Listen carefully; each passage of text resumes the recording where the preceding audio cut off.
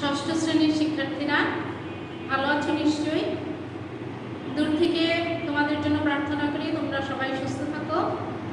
ভালো এবং সুস্থ থাকার পূর্ব শর্ত হচ্ছে কি, বেশি বেশি করে হাত ধুতে হবে, সাবান দিয়ে বিশ সেকেন্ড সময় নিয়ে হাত ধুতে হবে। আর তোমরা সবাই সুস্থ থাকো। আজকে তোমাদের আমি যা পড়াবো সেটা হচ্ছে ষষ্ঠ অধ্যায়।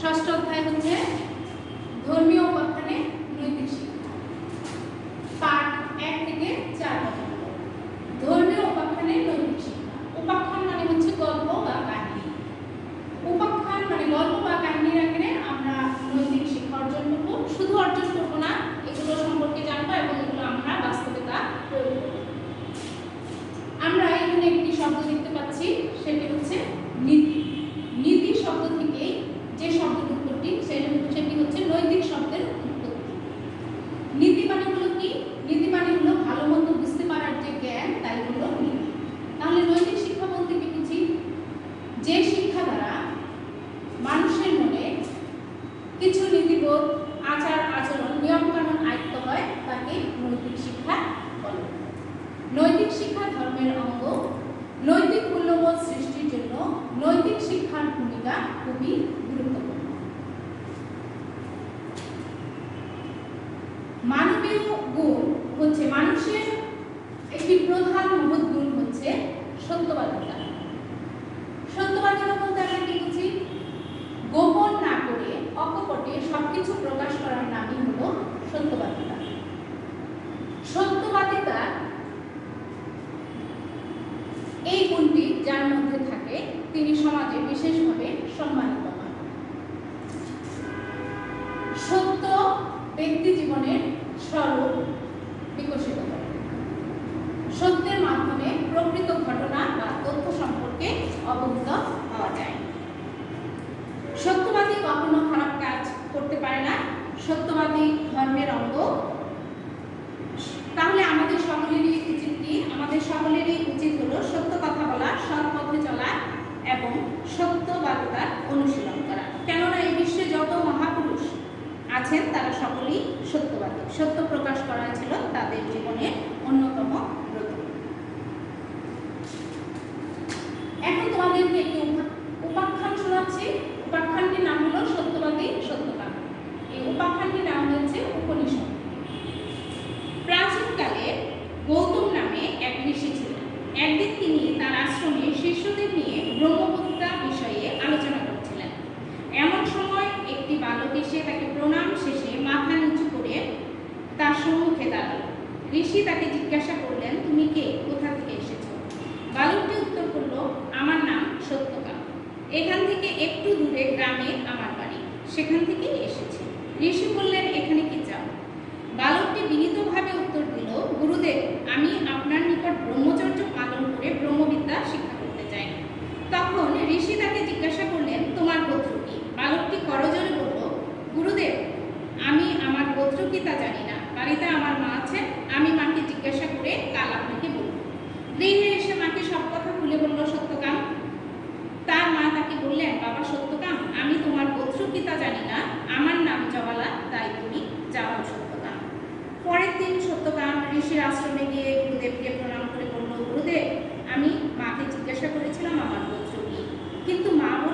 তিনিও জানেন না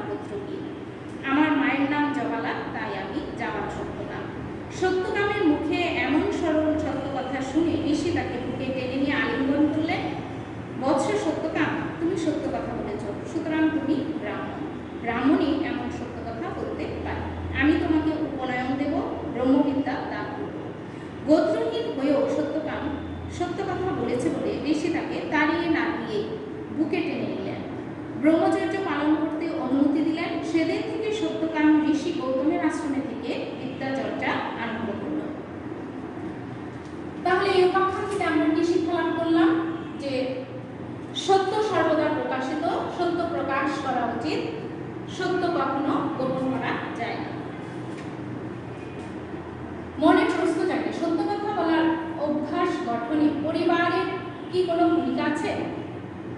সত্য কথা বলার অভ্যাস গঠনে অবশ্যই পরিবারের ভূমিকা আছে।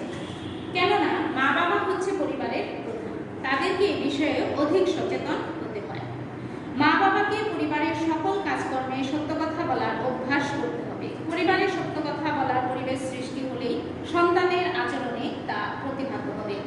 সন্তান কোনো কাজে কোনো কারণে সত্য বলা হতে বিরত থাকলে মা বাবা এক্ষেত্রে তার ভুল সংশোধনের সুযোগ দিয়ে সত্য বলতে উৎসাহিত করবেন এক্ষেত্রে মা বাবাকে সন্তানের বন্ধু হতে হবে এবং তাদের সাথে বন্ধুর মতো আচরণ করতে হবে পরিবারে বিভিন্ন কাজে মা বাবা সন্তানের সাথে থাকেন। এ সময়ে সত্যবাদীর গল্প কিংবা ঘটনা বলে তাদের জীবন বোধে সারা জাগাতে পারেন। আমাদের ধর্মগ্রন্থে সত্য বলার অনেক কাহিনী রয়েছে। এসব গল্প বলার মাধ্যমে পরিবারের সদস্যগণ শিশুদের সত্য কথা বলতে উৎসাহিত করতে পারে পরিবার বিদ্যালয় ও সমাজে সত্য কথা বলার গুরুত্ব সত্য ব্যক্তি জীবনকে সুন্দর করে, সত্যবাদীকে সকলে বিশ্বাস করে, সব সম্মান করে, ভালোবাসে এবং শ্রদ্ধা করে। সত্যবাদী সকলেই আস্থার পাত্র সত্যবাদীর সাহস সর্বদাই অধিক। এই সাহসের মূলে রয়েছে ব্যক্তির সৎ চিন্তা এবং পরিপূর্ণ বিবেক পারিবারিক জীবনে সত্য কথা বলার প্রয়োজনীয়তা অধিক সত্য কথা বলার মাধ্যমে পরিবারে পরস্পর পরস্পরের কাছাকাছি আসা সহজ হয় পরিবারে একে অন্যকে সহজে বুঝতে পারে পারিবারিক কোনো সিদ্ধান্ত গ্রহণ করা সহজ হয় তাছাড়া পরিবারে একে অন্যের উপর নির্ভর করা যায়। সত্য কথা বলার মাধ্যমে পারিবারিক সম্পর্ক বৃদ্ধি পায়। যে কোনো ধরনের জটিলতা সহজে কাটিয়ে ওঠা যায় সুতরাং আমরা পরিবারের সকলে সত্য কথা বলব এবং সৎ জীবন সৎ জীবনই আমাদের পরিবারের মূল ভিত্তি। বিদ্যালয়। বিদ্যালয়ে আমরা নানা কার্যক্রমে জড়িত হই। এসব কার্যক্রমে আমরা প্রত্যেকেই কোনো না কোনো দায়িত্ব পালন করি। শিক্ষক, সহপাঠী বিভিন্ন কাজ করি এক্ষেত্রে আমাদের সত্য কথা বলার গুরুত্ব অধিক। শিক্ষক, শিক্ষার্থী, কর্মচারী সত্যবাদীকে খুব পছন্দ করে। সত্যবাদী সর্বদা স্পষ্টভাষী ও সৎসাহসী হয়ে থাকে তাদের বিবেকবোধ অত্যন্ত সজাগ থাকে এই গুণের কারণে সত্যবাদীকে সকলে পছন্দ করে এবং বিভিন্ন কাজে দায়িত্ব প্রদান করে সমাজে সত্যবাদীকে সকলে বিশ্বাস করে সত্যবাদী সমাজের আদর্শ হয় সমাজে সত্যবাদী ব্যক্তির আদর্শকে অনেকে অনুসরণ করে সমাজের বিভিন্ন বিরোধ দ্বন্দ্ব সহ নানা সমস্যার সমাধানে সত্যবাদী ব্যক্তি এগিয়ে আসে তো বলে নিচ্ছি এই সত্যবাদিতা সম্পর্কে তোমরা বিভিন্ন এই প্রশ্নগুলো ছাড়াও আরও কিছু বলতে পারবে এবং বাকি তোমরা পড়ে নিবে। তোমাদের জন্য বাড়ির কাজ রইল। সত্য কথা বলার অভ্যাস গঠনে পরিবারের ভূমিকা ব্যাখ্যা বাড়ির কাজ অবশ্যই করবে, কারণ স্কুল খোলার পরে আমরা বাড়ির কাজগুলো দেখব। তো তোমরা ভালো থাকো, সুস্থ থাকো। সেই প্রত্যাশা রেখে আজকে